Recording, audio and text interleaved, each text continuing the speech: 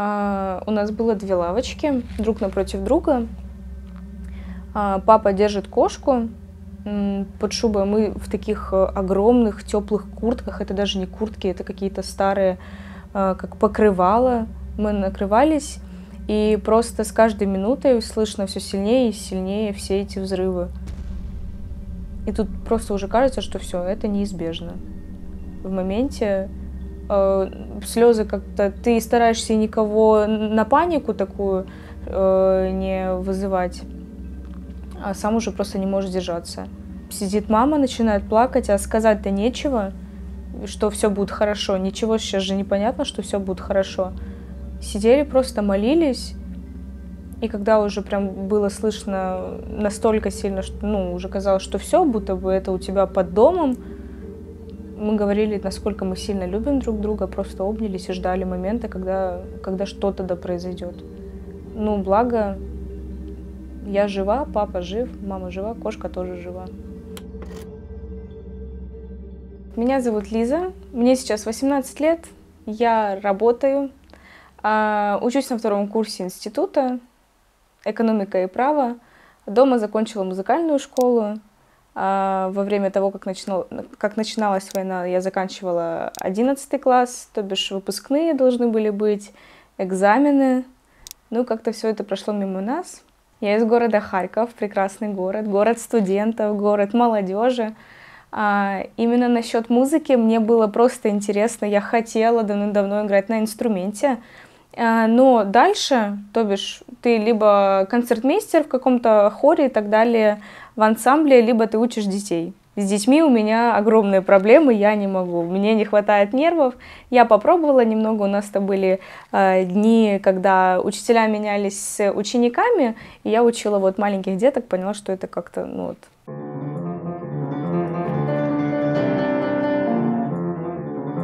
Да, у меня есть среднее музыкальное образование. Но просто дальше я не пошла уже учиться. Там надо было заканчивать э, еще одно учреждение, э, музыкальную академию. Это для меня очень сложно. Я пыталась типа во все это вникнуть. Там помимо того, что ты играешь на, на инструменте, у тебя должна еще быть музыкальная теория. Э, все, что с этим связано, это очень тяжело. Это, это сложнее математики. Вот, и поэтому все-таки наши пути разошлись с музыкой. Но для меня музыка всегда это как для души. Мне очень это дело нравилось. Мы ездили на все разные конкурсы. Это был вот такой большой этап, 8 лет в моей жизни, когда я с понедельника по субботу с 3 до 8 сижу и играю за инструментом. Но, в принципе, сама музыка мне очень интересна. Я, когда слышу песню, я слышу ее немного глубже, чем она есть на самом деле. А, вот, это успокаивало очень иногда. Ты сидишь э, возле инструмента по несколько часов, у тебя все твои мысли там плохие уходят, ты занят вот только этим. Дома только есть я и инструмент. Я бы не хотела работать с людьми. Я бы хотела, чтобы вот у меня было какое-то определенное задание, и я его выполняла. В бизнесе себя сейчас именно на данном этапе я не вижу. Мне кажется, это, это очень тяжело, это большие шестеренки. А у меня мама и папа, у них был один бизнес, и он сейчас, типа, в принципе, это как-то продолжается, но это очень тяжело. Очень много подводных камней. У папы дома были квартиры, и мы, в принципе, с них неплохо так получали, пока их не стало.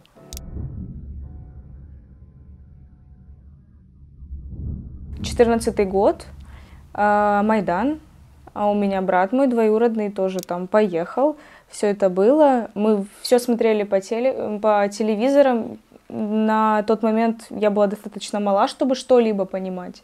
Именно в моем городе я так ничего не ощущала, потому что я как и ходила в школу, так и, ну, так и ходила.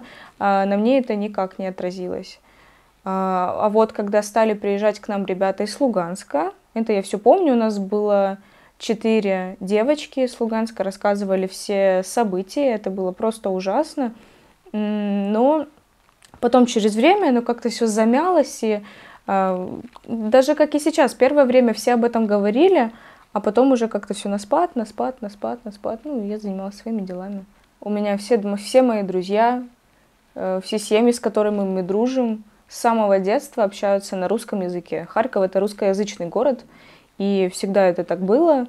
Э, если мы приезжали, например, на ту же Западную Украину, то пускай там ребята общались на украинском, даже иногда на украинско-польском каком-то языке, никогда не было такого, что почему ты на русском разговариваешь, либо что-то такое нет. Никогда не слышала, никогда меня это не касалось.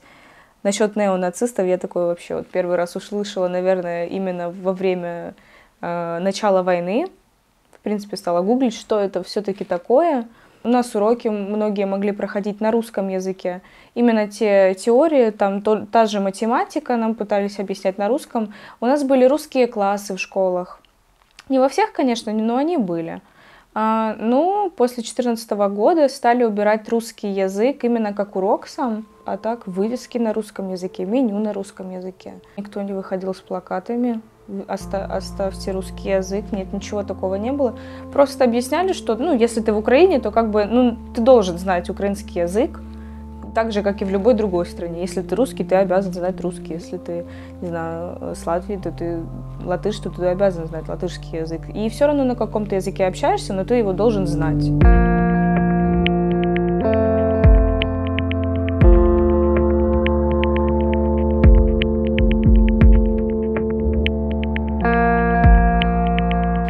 Когда приехали в Латвию, это был чисто русский язык, все нас понимали. Пускай это было с каким-то акцентом непонятным для русскоговорящего человека, ну, никогда не было такого, почему не на украинском. Вы же украинцы, общайтесь на украинском. Нет, такого никогда не было. Что я знала насчет Латвии? Это то, что есть Рига. А, знала, что Латвия была под оккупацией. А, вот. И знала, что это Прибалтика. А мне ничего и не надо было знать. Я бы, я просто хотела выехать куда-то. Мы просто думали, пересидим вот три месяца а, и будем ехать обратно домой. Я на самом деле удивилась, что так много русскоязычных. А, я думала, что это вот только у нас общаются на русском и Российской Федерации. Вот. Ну, это было даже плюсом, поскольку был хоть какой-никакой коннект, мы могли общаться с людьми, спокойно можно было сходить в магазин тот же и узнать нужную нам информацию. На самом деле очень бы хотелось выучить э, латышский, как оно и есть, хотя бы до разговорного уровня. А, я ходила на курсы латышского языка, очень плюс-минус где-то месяц это было все дело, по три раза в неделю. А, но из-за графика рабочего как-то это все отошло на второй план, а, к сожалению, к большому. Иногда, конечно, были такие неприятные, так скажем, моментики, когда я подхожу принимать заказ, а, мне говорят, э, что вот только на латышском надо принимать, хотя нам сейчас, на данном этапе, нам разрешили разговаривать только на русском языке. Ну, многие, когда узнавали, что мы украинцы, жали нам руки, говорили, извините, пожалуйста. А, но были такие случаи, что а вы обязаны знать, вы здесь работаете, вы здесь э, существуете, значит, вы обязаны знать латышский язык. Мое личное мнение насчет этого всего, что а, если, например, кто-то хочет общаться на русском языке, пускай он на нем и общается. Но латышский вы, ну, как бы если вы родились в Латвии, у вас э, латышское гражданство, то латышский знать надо.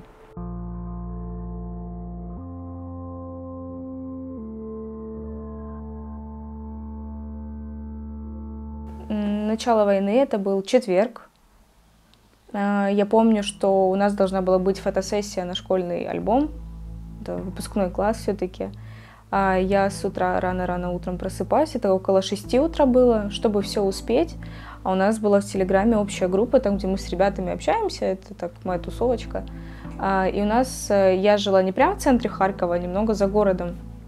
А моя лучшая подруга живет в центре Харькова. И я просыпаюсь от того, что у меня телефон разрывается, куча сообщений, и первое сообщение от Насти – это «началась война». И она скидывает э, видео, она живет в многоэтажке, и там видно просто, как все дымится. Я не поверила, так как у нас ничего не было слышно. Я обычно телевизор никогда не включаю. У меня там телефон, что-то, ютубчик могу включить, когда собираюсь а тут все резко переписываются, что так-то и так-то и так-то и так-то. Все просто в шоке. Я все равно собиралась в школу, и тут уже объявили военное положение, школа закрывается, все закрывается. В моменте была паника, потому что нам никто не говорил, как на это все дело реагировать, в принципе. Папа тоже собирался на работу, Мама проснулась позже всех, я подбегаю к маме, тоже с паникой, но у меня не было ни слез, ничего такого. Говорю, мам, началась война. Я на первое время не поверила в это все дело. Вот, а потом сели все вместе перед телевизором, начали все это слушать. Первым делом побежали в магазин просто, ну, это как, как и у всех было. Все разные крупы, э, там колбасы, что-то, дела первой необходимости. Надо было все это дело собрать, документы. Э, вот, и сидели на поготове, просто ждали любых указаний, потому что не было ничего слышно мы были в таких непонятках, происходит это вообще не происходит. Тут так показывают дело, но ты не веришь, ты этого не ощутил на, сам на себе. А потом ночью, когда уже был, было слышно прилеты, тогда уже все поняли. Я всегда думала, что в 22 году, чтобы люди боролись за свою свободу своими телами, это глупо, так как можно, можно все решить конфликты разговорами, как оказалось, нельзя. И я на все это смотрю и понимаю, что если вдруг Харьков станет уже теперь частью э, Российской Федерации, то я никогда тут не останусь. Я не хочу, мне противно, мне не хочется. Нет, нет такой свободы, как это было, например, при Украине. Ну, это вот лично мое мнение. Мне тоже была ненависть, так, так скажем, какая-то. Я живу, радуюсь жизни, все у меня хорошо. Вы тут приходите, нас спасаете. Говорите о том, что вы нас спасаете от кого-то, от чего-то. И мне это тоже доказывают вообще левые люди, которые живут просто очень далеко. Была такая ситуация на работе у меня первое время. Я пришла, я маленькая, мне 17 лет, это моя первая работа. И мне девочка говорит, у меня из-за тебя парень не может выйти работать. Это ты в этом виновата. Почему ты сюда приехала? Она, ну, гораздо старше меня, ей, не знаю, 25-26 я просто, типа, не знаю, что ей ответить. Я не хочу, в принципе, политические темы тут с кем-либо трогать. У меня всегда было табу. И она тут начинает на меня гнать. Я просто развернулась, ушла от этого разговора. Я не пыталась как-то продолжать тему.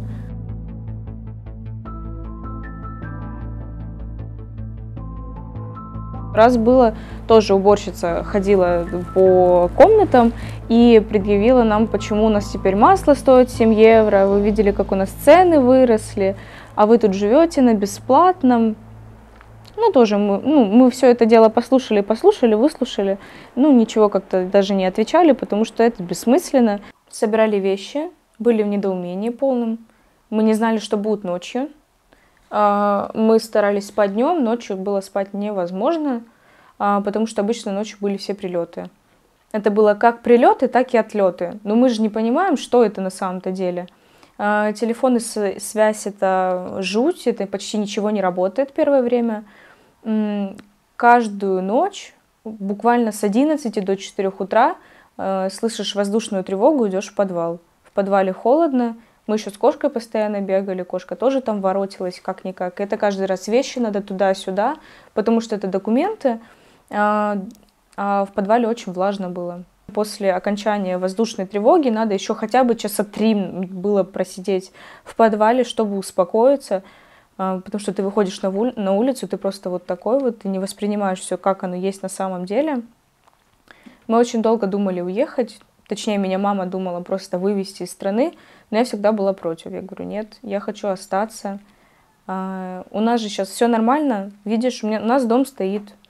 Значит, мы можем, в принципе, жить. А вот если не будет, типа, дома, значит, придется выезжать. И после ситуации с Бучей, а, то, что произошло под Киевом, а, папа сказал, все, вы выезжаете. Я не хочу ничего слышать. Это больше как был выбор папы. Это папа нас уговорил выехать люди стали очень сильно выезжать, были переполнены все, э, все поезда. Э, у нас в одном купе могло ехать по 16 человек, 4 собаки. По итогу мы сначала приехали в Польшу.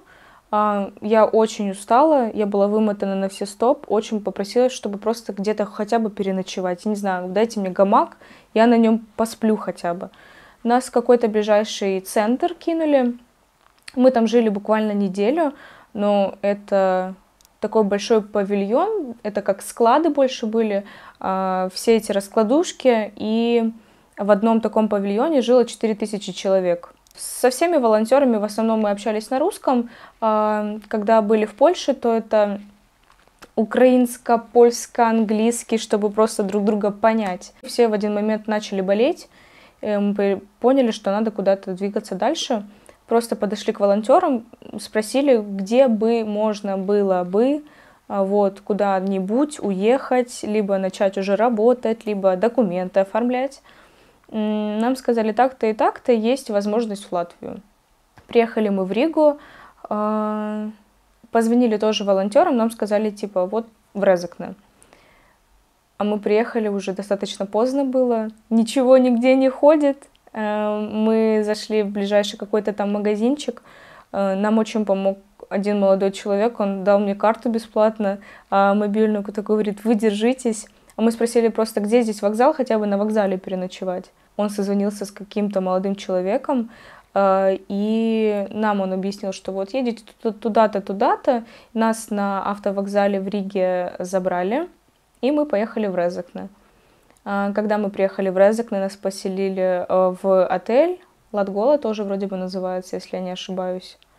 А, вот, и там мы жили три месяца.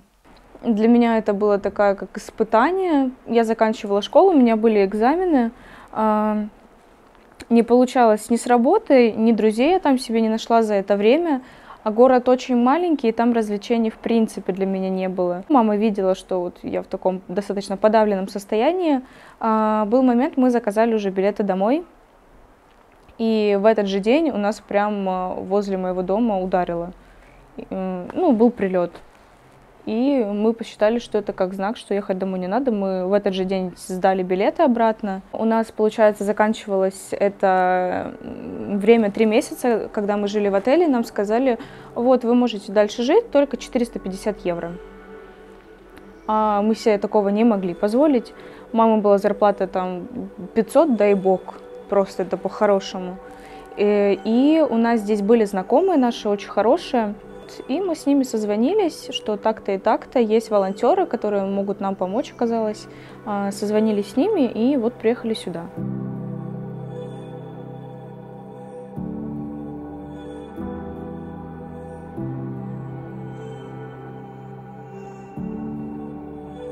Даугавпилс, да, когда мы только-только приехали, он мне очень понравился, как город, уютненький. А, в принципе, очень добрые люди нам встретились именно здесь. А, и э, именно в тот момент, как мы пошли на работу, весь мой мир перевернулся просто вот так вот на 90 градусов. Потому что, я повторяю, здесь я была абсолютно одна, у меня ни друзей, никого, ни знакомых. Э, сидела попросту дома, а тут я пришла на работу, хотя я хотела хотя бы хоть посудомойкой меня возьмите, пожалуйста, хоть кем-то. А у нас э, наше начальство, девушка тоже приехала, она не из Латвии. Она говорит, я тебя прекрасно понимаю, давай будем пробоваться. Вот, и там нашла друзей, в меня поверили, мне дали какую-никакую ответственность за свою работу. Я очень рада и счастлива, что вот именно с работой получилось так. Для меня это два абсолютно разных мира. Это абсолютно разные по менталитету люди. А, а люди, ну, как бы, это очень важно. А, я бы не сказала, что это в плохом ключе менталитеты отличаются. Нет, это просто абсолютно будто бы два разных ума, так скажем. Вот, но это все интересно было узнавать первое время, что тут да как. Культурные особенности. Здесь обычно праздновать все праздники в очень узком кругу, по-семейному. Это выехать где-то из города, просто провести максимально э, уютное время друг с другом. То бишь на Лига ты можешь идти по Ригас, и ты не встретишь ни человека, все находятся за городом. На самом деле, я уже настроила планов, когда была дома. Э, все мои планы разрушились в один момент, поэтому каких-либо глобальных планов я не строю. Но пока я работаю, пока нахожусь в Латвии, я хочу выучить латышский язык. Я не знаю, насколько долго будет мое пребывание именно здесь. Возможно, это будет не Даугавпилс, возможно, это будет Рига, а возможно, это будет вообще другая страна. Я сейчас вообще без понятия, как э, завертится, закрутится моя жизнь, но мне здесь, в принципе, нравится комфорт, есть стабильность. А, пока я работаю, пока я учусь, пока я живу, пока у меня есть место проживания, у меня есть некая стабильность.